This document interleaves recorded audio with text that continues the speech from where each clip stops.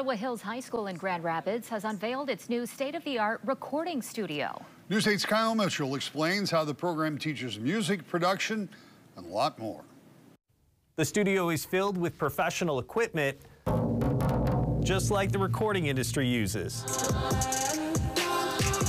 Inside this classroom could be the next generation of music professionals. You can customize what sound you want to make on the beat, and you can play around with it and see which one you really like. This is so many types of music we learn about, and like you can make, you can actually make all of them on just the computer. So I just love music so much, and I like to sing and dance so much, and I want to learn more about music and how it's made. Ottawa Hills High School's new music production and entrepreneurship class teaches students about the industry and opportunities to turn a passion into a career. You can hear where it's supposed to be. Lucius B. Hoskins is an award winning musician, songwriter, and music producer who has worked with big names in the industry like Jill Scott. I'm born and raised here. This is actually my alma mater.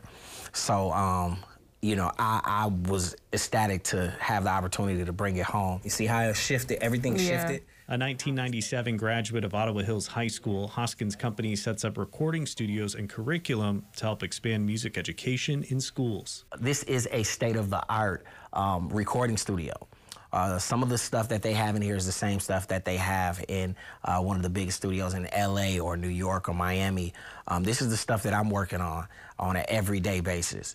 Um, I've created um, big records on the same equipment that they're using. The program will grow in the coming years as additional classes are added. Hoskins hopes the program leaves a lasting impact on every student.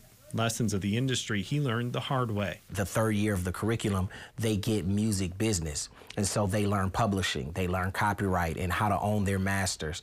And so um, they won't be taken advantage of.